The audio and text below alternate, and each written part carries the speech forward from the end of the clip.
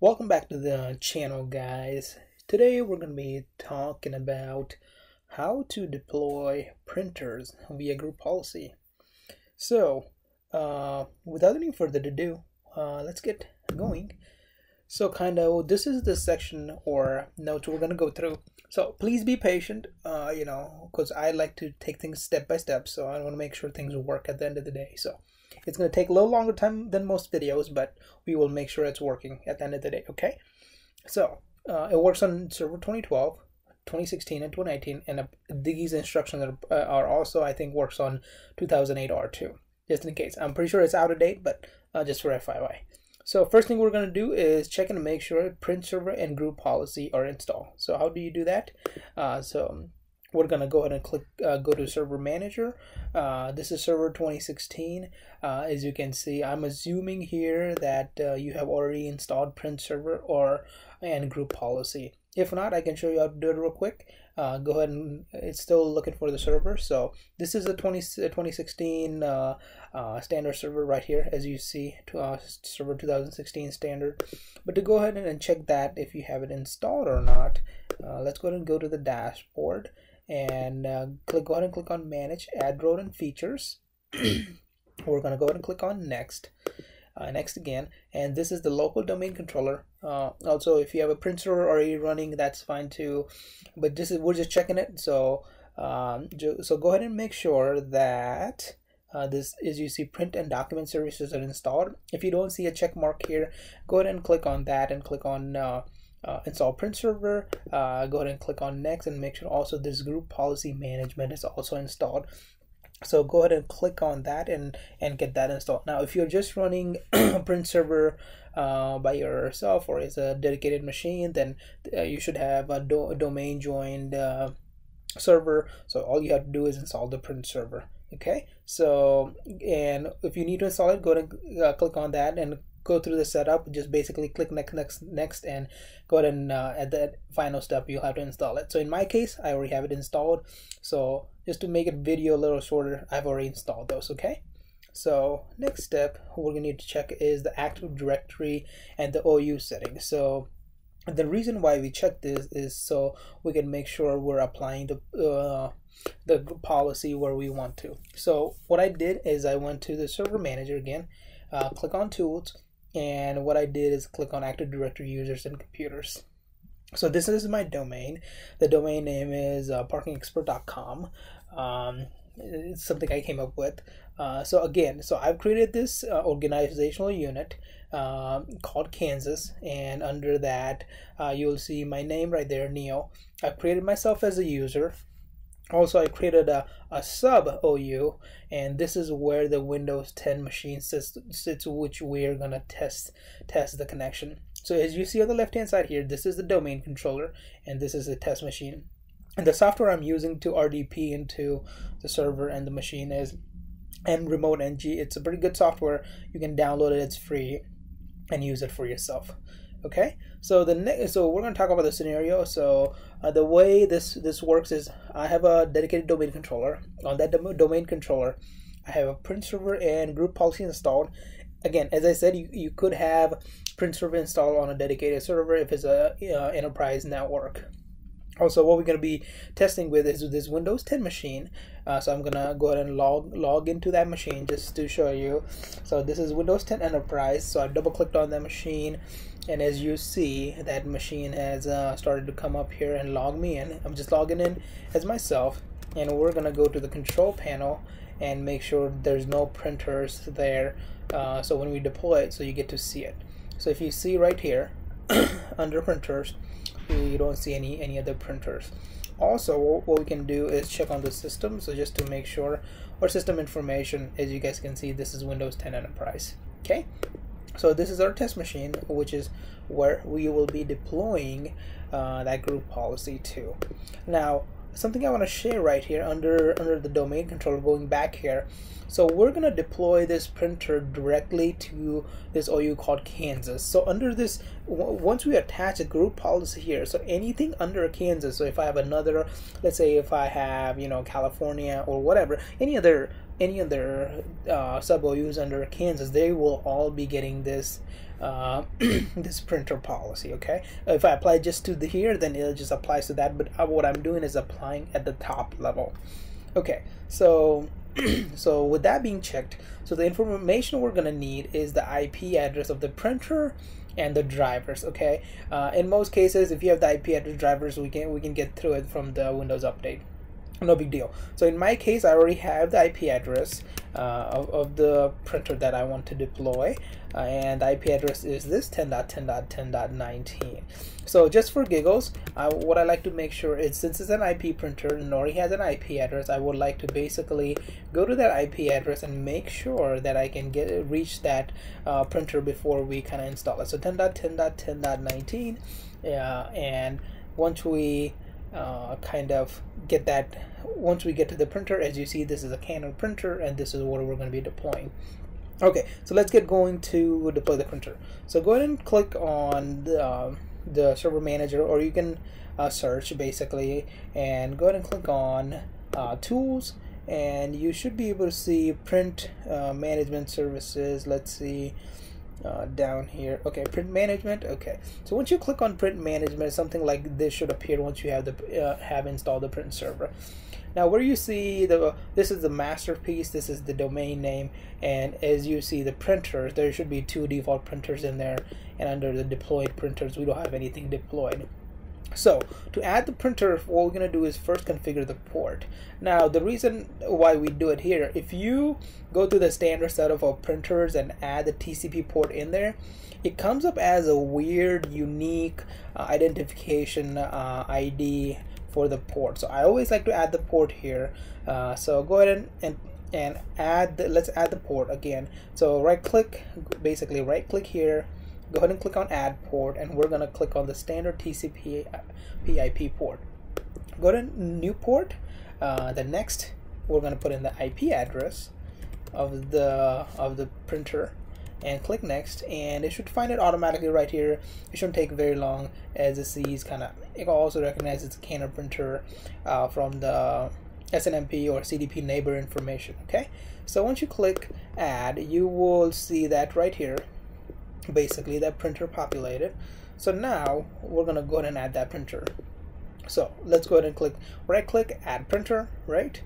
Um, and we're gonna select add TCP IP printer by name or IP address. Uh, well actually since we already created a port what we're gonna do is add a new printer using existing port. Uh, so go ahead and click on that and we will select our IP address that we added and click on next now it's saying okay do you have the drivers? Well I don't have the drivers so I'm gonna say okay install a new driver. So in my case I know it's a Canon printer and you can basically go up and down and try to find your uh, perfect uh, you know model number and whatever that is in your case uh, to basically make sure that you can find the driver. In my case it's Canon MF6100 this is the machine.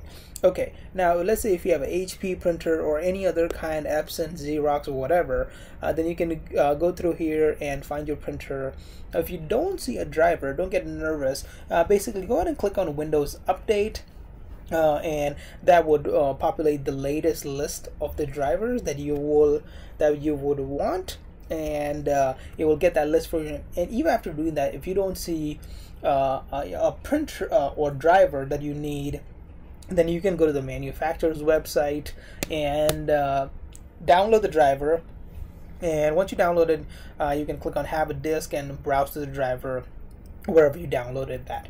Okay? It's pretty pretty straightforward. Oh, another uh, another quick tip. Let's say if you if you don't want to go through all that hassle. Let's say your printer is Canon MM6100, right? Uh, so if you find a driver that is maybe, let's say Canon MF uh, 60 6333C or whatever, one one one series higher or one series lower, you can always try that driver. In 99% of the case, those drivers are going to work for you. But in my case, looks like I already found the driver, so I'm gonna go ahead and click on next here. So, okay, so now it's asking for, okay, what would you want to name this printer? So in my case, let's just give it a generic name. Um, let's call it uh, desk printer, right? So desk uh, dash printer. also well we, we're also going to share this printer and this will show up uh, under the shared printer and we're going to name it the same because if you name it different then you're going to have a hard time finding where this printer is. So printer name okay desk printer shared name is also a desk printer. Go ahead and click next uh, and click next and it says installing driver uh, printer install, install successfully. Now at this point if you want to make sure that uh, your uh, basically your installation work and your driver is correct you're going to check mark that print the test page and click finish which will which will kind of print the test page if you want to just make sure that the driver is working fine so as you see that printer is now here. So now as you see it's still not deployed. So what we're going to now do is to deploy that printer via group policy. Now to deploy this printer via group policy we're going to go ahead and right click on the printer. And um, let's go ahead and cl click on deploy via group policy okay? So once you see this box as you see uh, this is the shared name of that printer masterpiece dash slash masterpiece slash desk printer okay so then we're gonna go ahead and click on the browse button and we're gonna go to the all section. Now under let's see let's see what it's saying and give me one quick second. I think it's still uh it's still populating the information. So you can click on all or domain and what we're going to do here is click on create a new group policy object and under this i'm going to name the policy same as the printer name so just for my information, I can understand, okay, the policy name is same, the printer name is same. So whatever am I doing is same. So I'm going to say, okay, desk printer, that's the printer name, dash, I'm going to deploy to computers only. So I'm going to say desk printer dash computers, or if you want to deploy it via users, in this case, we can do it via user. So let's do it via user. So we can say desk printer user, okay? And this policy applies. Which way do you do you want to apply it? Do you want to apply it per user or do you want to apply it under machine? So we can say okay we want to apply it as a as a user. And you i think pretty sure you can check both uh, if you want to apply this via doesn't matter who logs in so we can do it via the user okay? Um, so let's do that. Per machine i'm going to take that out uh, per user. And then let's go ahead and click apply okay?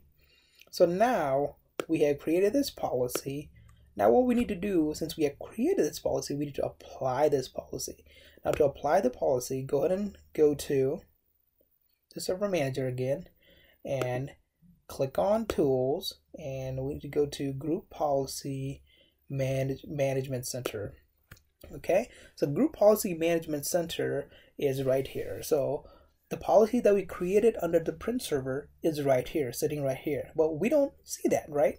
Because that policy is not assigned yet. So that policy is sitting under group policy objects.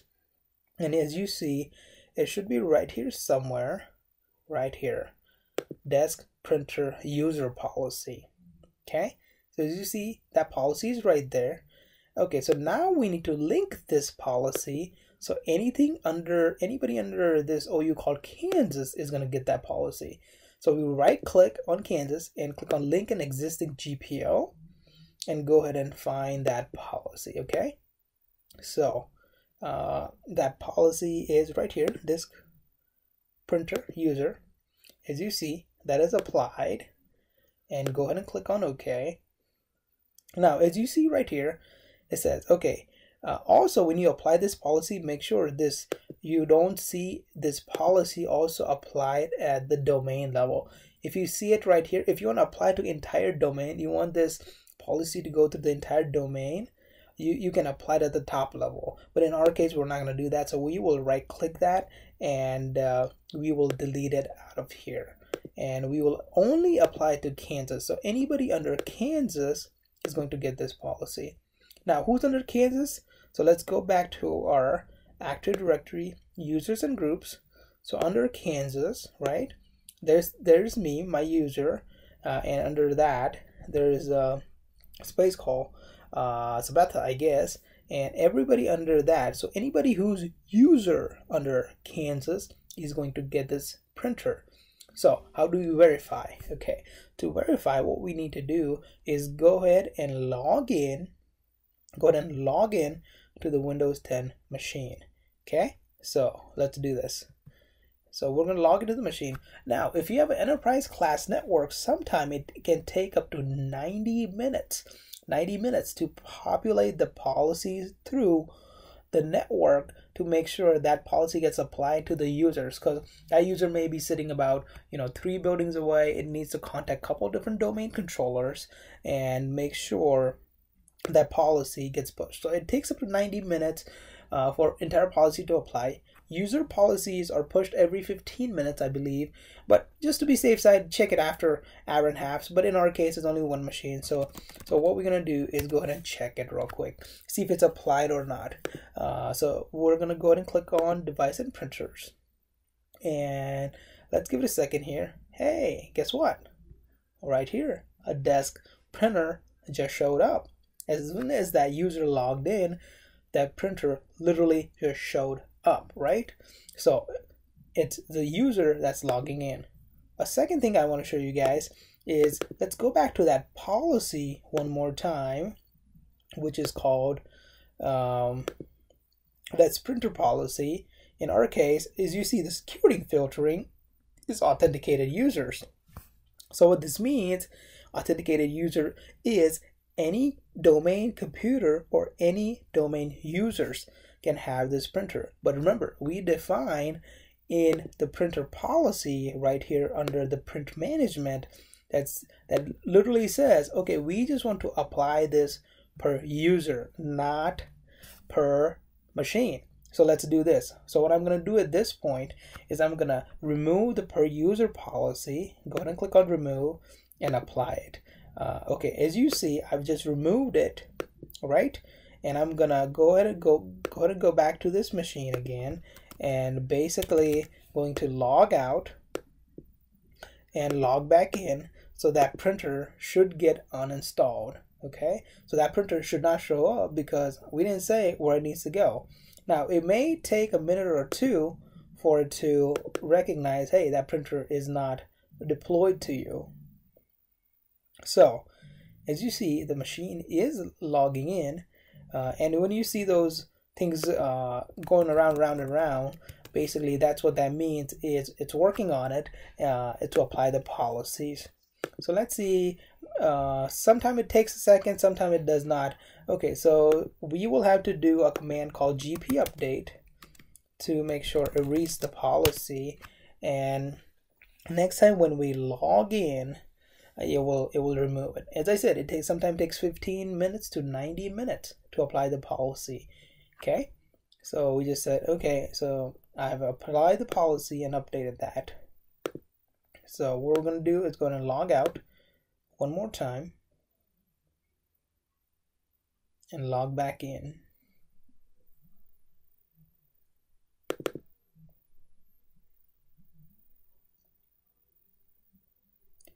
So user policies, another quick tip, user policies apply when users log in. Computer policies on the other side apply when the computer starts up. Okay, so that's the one quick tip you want to remember uh, because that is very important. Okay, so it looks like it's going to take a quick restart uh, to go ahead and get this out. Looks like the policy is still not updating, so I'm going to give it a quick restart of the machine uh, to make sure that it's working as it's expected. Okay guys so machine should be done restarting here so we're gonna go ahead and, and log back in and see if that printer is gone or not. Okay? So right there we're logging back in as the same user. And as you see let's see. Okay. Hardware and sound and device and printers working on it. Okay as you see, that printer is now gone, okay? So we removed that printer from the policy. Now let's do this. Let's apply this policy via computer base. So it doesn't matter which user logs into this computer, that printer will be there when that user logs in. So how do we do that? Okay, so let's go back to our print server again. And what we'll do, we'll, we'll deploy the same printer one more time and we'll call it, uh, uh, let's say deploy with group policy. And we'll, what we do what we'll do is we'll create a new policy this time and we'll call it uh, let's call it desk dash printer dash computers. Right? So okay so and then we're gonna say okay this policy applies per machine and we'll go ahead and click on add okay? And so go ahead and click apply and click ok and okay. Now we go back to our group policy editor and uh, go back to your domain up top here and make sure that policy again make sure that policy is not linked up here. So we will remove this first and then we'll apply it at the appropriate location okay? So not that. Is the desk printer computers policy delete? So we'll go to Kansas again and as you see that this desk printer policy is there but there is no settings in there since we removed it. So for now I'm gonna go ahead and get this policy removed.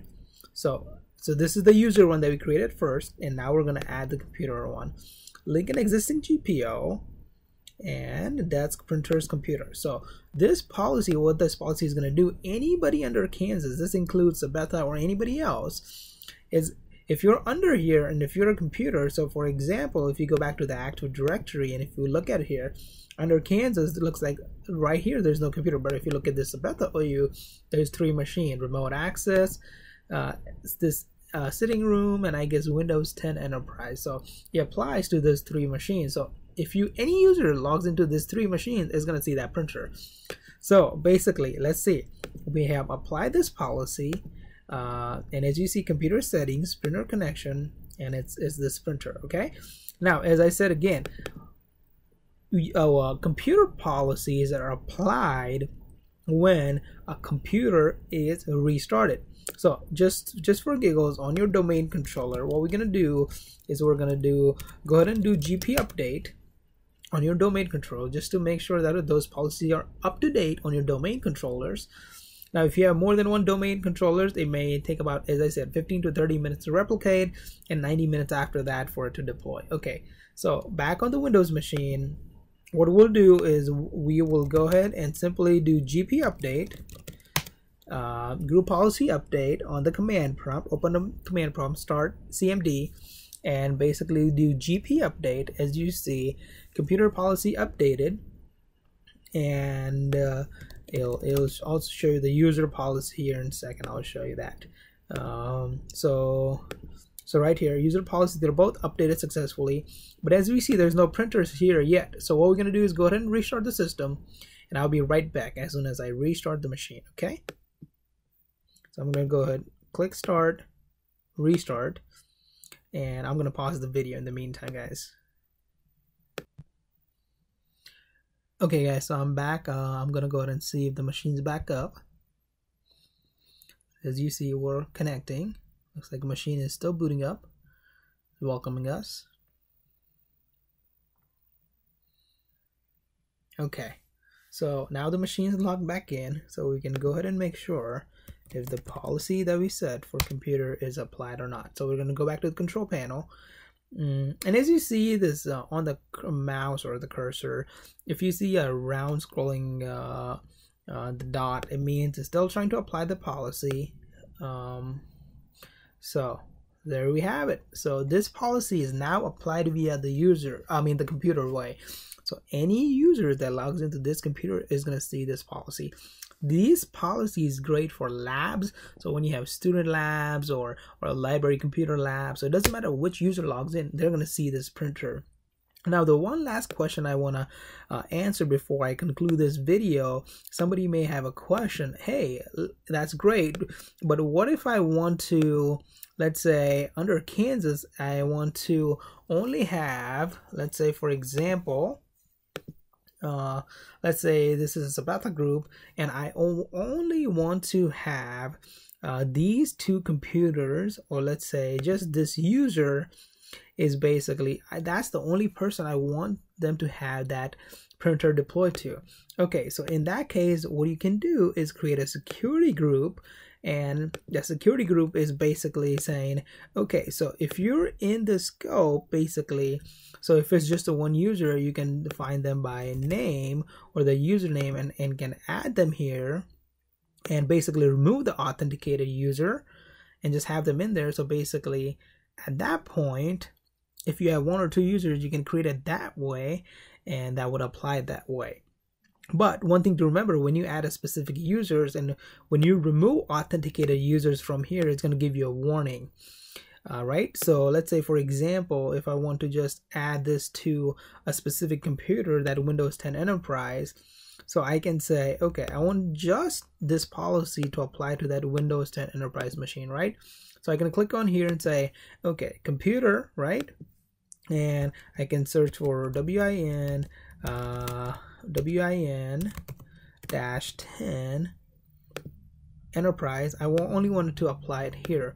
But one thing you want to remember if you that you want to go to delegation and make sure you add authenticated users in here because this is uh, this is how uh, basically this is how it's gonna know uh, that to provide proper rights and authenticated user read rights. So we'll apply the policy.